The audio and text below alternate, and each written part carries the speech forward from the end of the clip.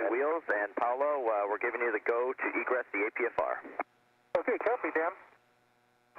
And uh, copy then. This is Mission Control Houston, one hour and 28 minutes into the. So your go. Okay, uh, we copy.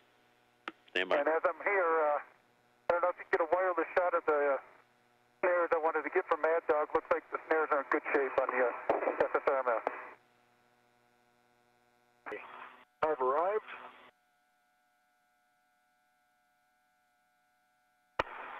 Very good. So the first uh, step there is to temp-stow the large trash bag on uh, 369.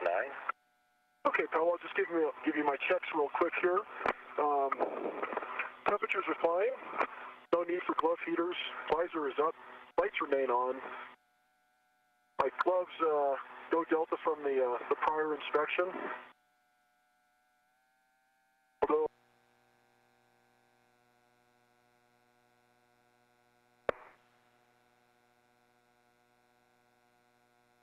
Handhold, Dan.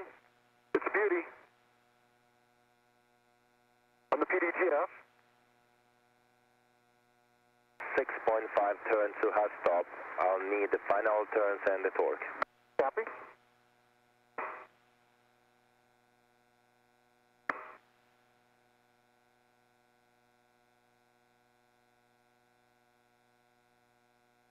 Good tug test.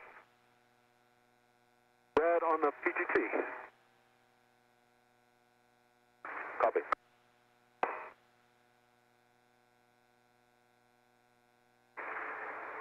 And uh, Scott and Wheels, just to let you know, you should be about a couple of minutes Step is to temporarily stow the payload and data grapple fixture for uh, uh, the APFR removal. Yes, I think I need to come starboard. on uh, node 2 and it will be tethered in place for now and then permanently installed on an, the uh, on another spacewalk. Out of the uh, APFR. We can check that, and we can verify in the camera that it's in the ingress eight is in low profile, and uh, we can take In the Houston, Alpha on two, removal. We think it's straight um, uh, towards Do the I have a go to spill. proceed on step two after commanding the PCA into intro valve open? So, And 40, wait. 40 centimeters. That's great. We'll put that motion in, and you've got clearance from for the uh, APFR to the MBSU and side and the uh, sill. I've got it. That's great. Okay, we'll put that motion in. And we'll bias it a little bit more so that uh, you have to get